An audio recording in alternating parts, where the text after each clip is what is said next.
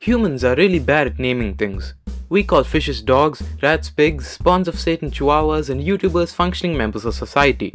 Ever since we decided to start naming things, there's always been a few mistakes here and there because of mistranslations, the telephone game, or because somebody forgot to pay attention in geography class. So without further ado, here are some of history's biggest misnomers.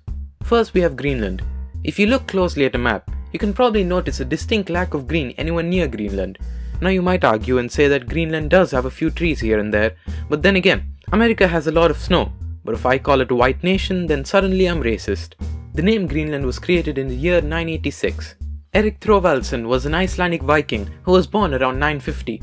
He's also called Erik the Red because he had red hair. I'm kinda seeing a pattern here. As the story goes, around 982, Erik gave some of his stuff to a neighbor, but when he came back for them, the neighbor refused to give them to him. So he did what any normal person would do and killed the neighbor's two sons. Stealing. Mass murder. Seems pretty fair to me.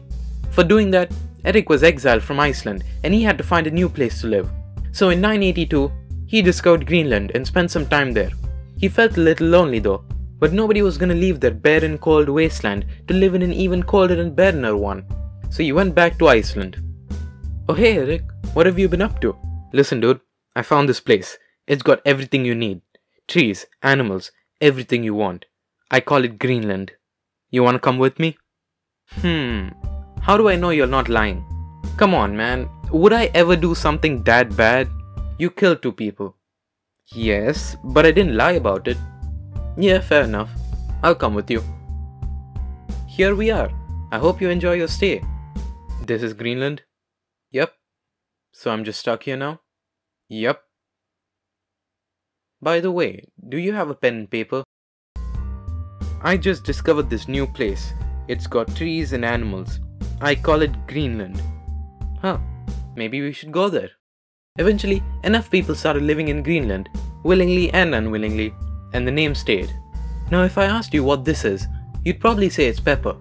If I asked you what this is, you'd probably say it's a chili pepper, even though one looks like the fossilized version of the other. Like a lot of history's problems, it's all because of Christopher Columbus. In the 1400s, pepper came from India, and it was very valuable. So when Columbus went to India, he expected to find some pepper so he could make a lot of money. But instead, all he found were chilies. Well, they're both spicy, and people in Europe probably can't tell the difference, so... Hey, are those real peppers? Uh, yeah, yes, they are real and very expensive. Okay, I'll take all of them.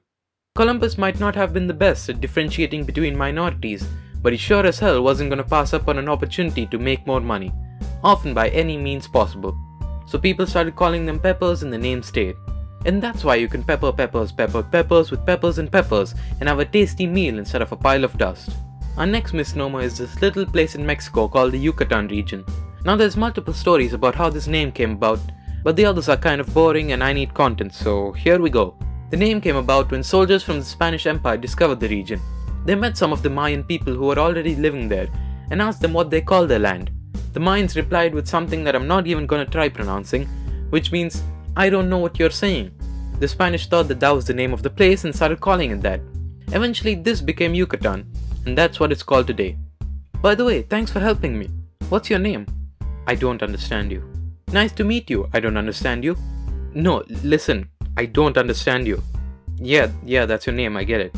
I don't understand you, man. How many times should I tell you? You said two things there. Is that like your full name or how does this work? God damn it! There's two more theories about how this name came about. One of them says that the place was named after the yucca plant that grows there, while the other one says that Yucatan is just what the people call themselves, which is both boring and poorly sourced.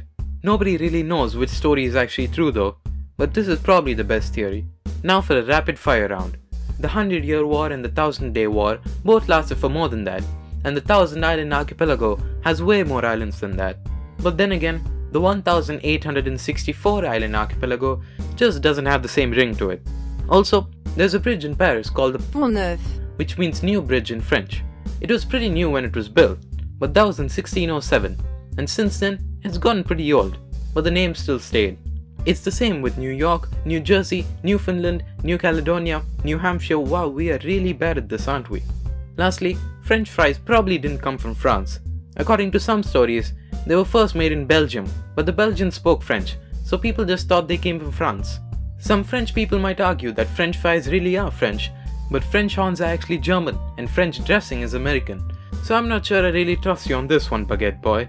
So yeah, those are some historical misnomers. Like the video if you liked it, subscribe, hit the bell, leave a comment, and check out some other videos in the description.